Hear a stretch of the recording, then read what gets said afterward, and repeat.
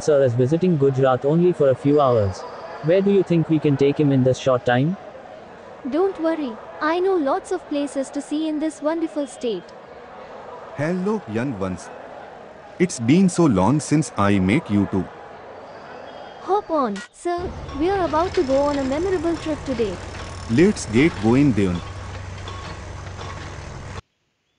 Here's your first look at an engineering marvel of our times, the Statue of Unity, which is under construction. Once completed, it will be the tallest statue in the world. Next up is a natural wonder that's unique to Gujarat's terrain. The Rann of Kutch salt pans contribute massively to the salt production of the world. Every year tourists from all over the world visit Rann for the annual Rann Utsav, a colorful festival of culture, fun and heritage. This next place is the largest petroleum refinery in the world. Any guesses? Is it the Reliance refinery in Jamnagar? You got that right.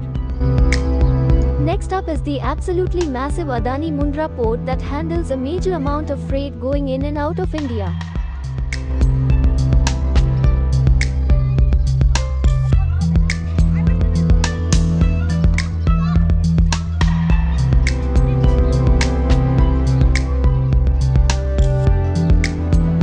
This was a worldwide Tour Kavita.